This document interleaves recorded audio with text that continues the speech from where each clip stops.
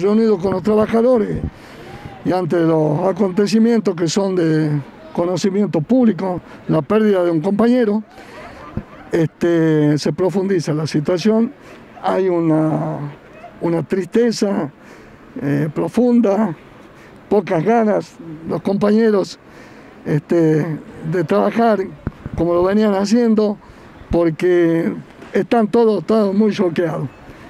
Este, vamos a hacer todas las medidas que sean necesarias para reclamar las vacunas. Después de este luctuoso hecho, eh, ¿hubo un ofrecimiento por parte del gobierno de vacunas? Nosotros, desde la presentación que le dije a sus colegas del 27 de enero, solo hubo respuesta de la gerencia zonal, no eh, del Ministerio de Salud, que, hemos pedido la vacuna, no nos contestaron, hemos pedido audiencia, nos respondieron que se va a afectar de acuerdo al plan vacacional eh, de vacunación nacional. La presentación que hizo Sergio Palazzo, la, ministra Bisotti le, respondió con una nota de la doctora Tarragona, que es la asesora legal, donde le dice en dos puntos bien claros, el plan estratégico de vacunación corresponde el manejo al Ministerio de la Nación.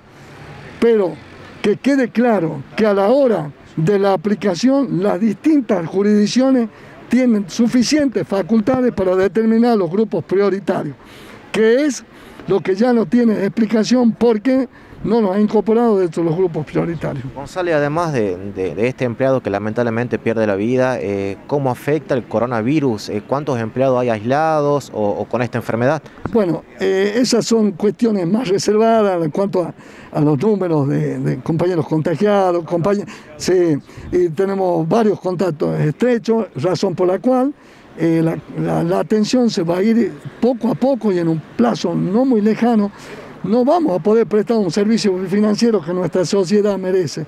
Por eso exigimos, exigimos que se los vacunen, que se los cuide a los empleados, porque nos garantiza que medianamente se va a cumplir con todos los servicios financieros como debe ser.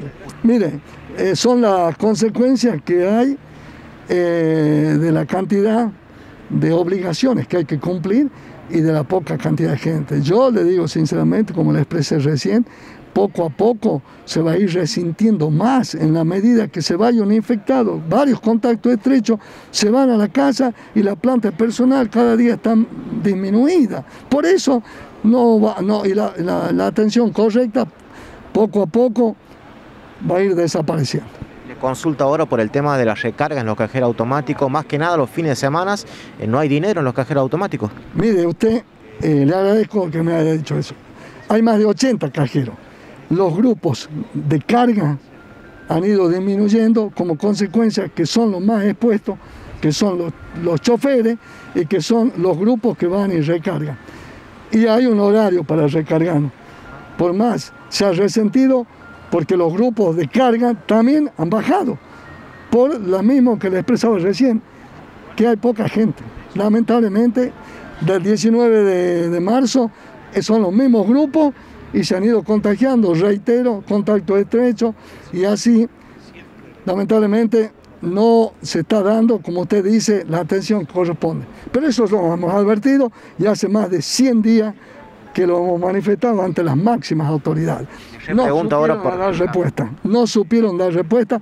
Me gustaría que les hagan nota, así como le hacen a los trabajadores bancarios, que expliquen, que expliquen por qué se han firmado decretos y no se los respeta. Somos esenciales a la hora de trabajar, pero a la hora de vacunar no somos grupos prioritarios. Bueno, evidentemente la función que cumple el sistema financiero en la provincia, no sé qué eran las evaluaciones, pero es importante, no digo que es extraordinario, es importante para el desenvolvimiento normal de las actividades de un Estado. Pero si eso no se cuida, y se cuida con vacunas, no con otro tipo de respuesta. Yo pregunto, la atención remota, telefónica, la atención por internet, por canales no habituales, eh, también es deficitaria en este momento. Le reitero, la falta de personal usted lo va a ir viendo, así como los cajeros que me dijo, y no es por falta de, de ganas de trabajar, es por falta de gente que ya se está notando y estos últimos tiempos con mayor razón.